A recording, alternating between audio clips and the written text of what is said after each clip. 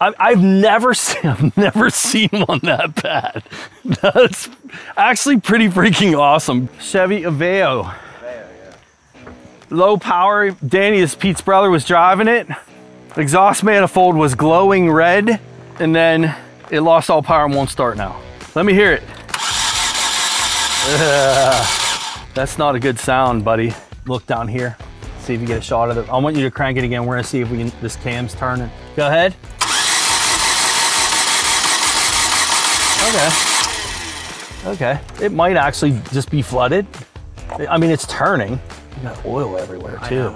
Okay, let's see what let's see what we come up with on this. Okay, some of this you guys already saw. We were walking over with Danny, which is Pete's brother. We didn't know we were doing this 2010 Aveo today. He's been driving it for a long time with the check engine light on. He's been asking me about looking at it for him, but it's been running okay. Uh, but he was just driving it and he was losing power, losing power. He opened the hood, the exhaust manifold was glowing, and then it died and then wouldn't start. That's where we are. Let's do a full code scan, see what we have. Only engine code I have is a 420 catalyst efficiency code. That's probably the, the light that he's been looking at forever. Yeah, it could be flooded. It could be flooded. Uh, I don't like the exhaust manifold was glowing. That's a helpful symptom. Um, but let's um, let's just do the preliminary stuff we would normally do. I want to look at the tachometer. We're going to look at some scan data. I'm going to put the pedal to the floor and see if we can do a clear flood start on this.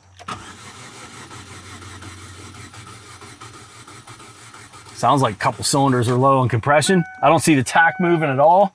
That doesn't, it's not foolproof test. CKP sensor RPM, CMP sensor RPM, that's cam and crank. They'll watch them and then look at your RPM. We got everything we need. All right, pedal to the floor. I'm gonna try to start it with the gas pedal to the floor. Ready?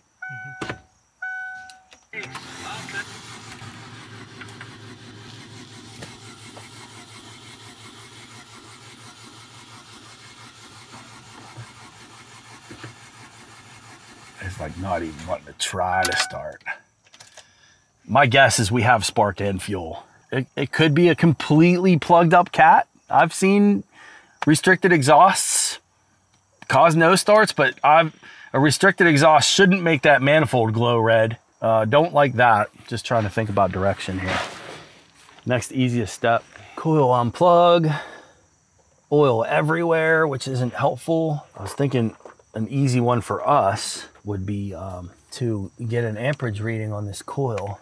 I'm not familiar with this design. I, I believe the transistors are inside of this assembly. So if this is four different coils, we should have four different control wires and we should have four separate grounds and then a feed. How many wires we got? One, two, three, four, five, six, seven. Maybe it's a waste spark. Ah, let's, why don't we familiarize ourselves instead of guess, huh? All right, here we go. This will tell me what I need to know. Ignition control module, they call it. So we have I IC timing control red, I IC timing control purple, temp sense signal. There's a temperature sensor in there. That's weird. IC timing signal dark blue. So what this is suggesting to me, I IC timing control on the red and purple tells me that this is a waste spark design, this housing. So there's only two coils in here. My pink wire, we'd be able to see those, the uh, firings of the coils. So that's really what I was looking for. Uh, what type of uh, system is this? What type of controls? Uh, I'm not sure exactly what each of these are as far as the temp sense signal and the IC timing signal. That's going to be your signal back to the computer, like timing confirmation, probably. But seeing only two control wires and four spark plugs, like this is a waste spark for sure.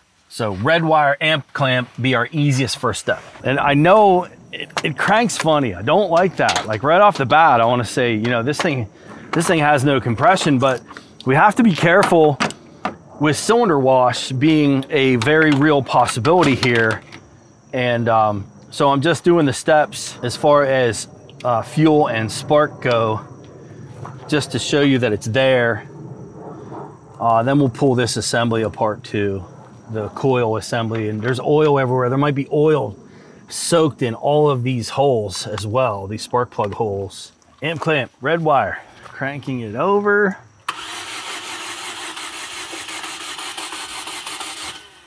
Oh, Hold on, I didn't see anything there. Let's go volts DC. I think I was on my graphing meter. Yeah, that's surprising. I did not expect that. Just want to make sure my amp clamp is set up right. I want to also make sure that I'm on the right wire. Pink. Oh, I went on the red. Dumbass. Wrong wire. That's one of my timing control signals. We can go voltage and look at that stuff too, but no, pink wire is the one I want. Sorry, guys. Always check yourself. When you get the result of a test, when you find something that surprises you in a test you're expecting to see and you don't see it, before you walk that path on no spark, no control, make sure you're on the right wire. Make sure you, your equipment is set up properly. And that's exactly what we did wrong on this. I, I connected to the wrong wire. It's the pink wire we wanted. Pink wire. And arrow is conventional theory current flow. So my arrow is backwards. It should be the other way. That's not a problem. I can just invert it on my scope. Okay, cranking it.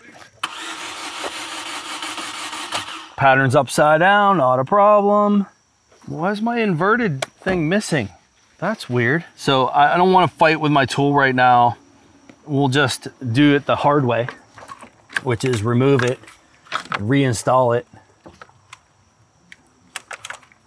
with the correct, correct direction. I'm not worried about detail here. Just want to show you guys we have control. Okay, we have we have spark that's taking place. There's current flow that's happening, starting and stopping. Um, there should be spark taking place with that. So that's just preliminary. Do we have spark occurring? Yes.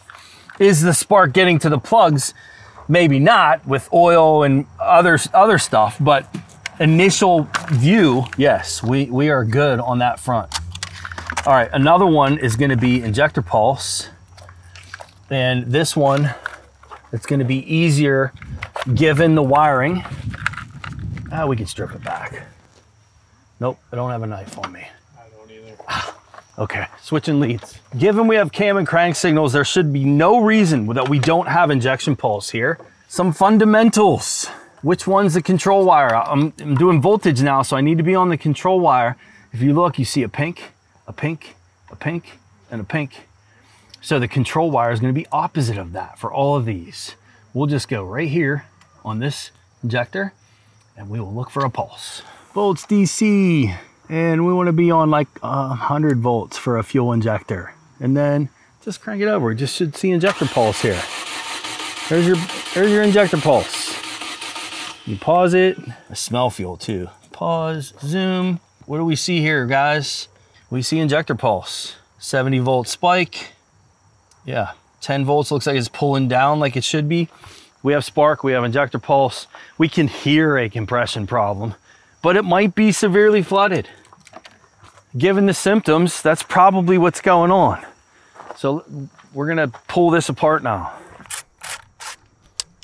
Now to address a question you can pull this back up in the footage, the amperage pattern that I had for the coils. I never worried about which one was firing. It should have been coil one, coil two, coil one, coil two, coil one, coil two. Some of you might have been thinking, well, how do you know it was both coils? It could have just been one firing. And you'd be correct. We'd have to do some further checks to make sure. But for where we are with this diagnosis, I don't care because if it's only one coil that's firing, we would have a two cylinder misfire. It would start and run, not good. Okay, I'm not worried about that. So if any of you had that question, that's why I don't care. There's so much oil. I will not be surprised if this is full. It is full. Like this, this, we're done. We're done. We do not go any further. I'm not doing this for him. Danny's a mechanic. He can handle this those spark plug holes are filled with oil, filled. So what do we have going on here? In my opinion, we have a severely flooded engine. Why? Because our spark is never reaching the spark plugs. We've sorted out all the coils. That's my call. I'm gonna say, Danny, change the valve cover gasket. That's a valve cover gasket issue. Okay, that could also explain our exhaust manifold glowing red on us because we're misfiring so badly from oil. I, I've never seen, I've never seen one that bad.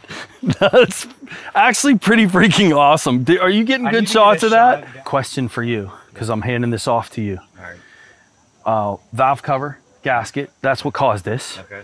And you're gonna need new boots. These are all like these are bad. Okay. As far as the housing being shorted and all of that, probably not. We'll probably be okay. But boots, Okay. um, probably get a set of plugs. Okay. Valve cover gasket. All right. Um, was this misfiring? Yes. Yes. Badly. Oh yes.